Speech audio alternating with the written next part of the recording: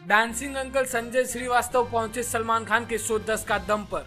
Hello friends आप देख रहे हैं एफ़ स्टार न्यूज़ अगर आप सोशल मीडिया पर एक्टिव रहते होंगे तो आप संजीव श्रीवास्तव को तो जानते ही होंगे। जी हाँ वही संजीव श्रीवास्तव उन दिनों डांसिंग अंकल के नाम से बहुत ही फ़ेमस हो चुके हैं।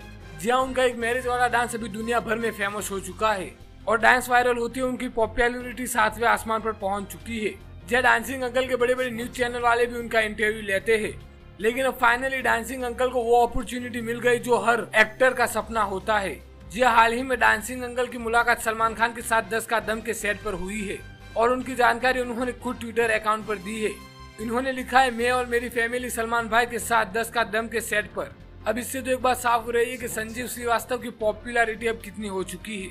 तो फ्रेंड्स आपको कैसा लगा था ये डांसिंग अंकल का डांस और आप क्या कहेंगे इस न्यूज़ को लेकर वो हमें कमेंट करें। ये न्यूज़ पसंद आए तो उसे लाइक करें। आगे की खबरें के लिए एफ़ न्यूज़ को ज़रूर सब्सक्राइब करें।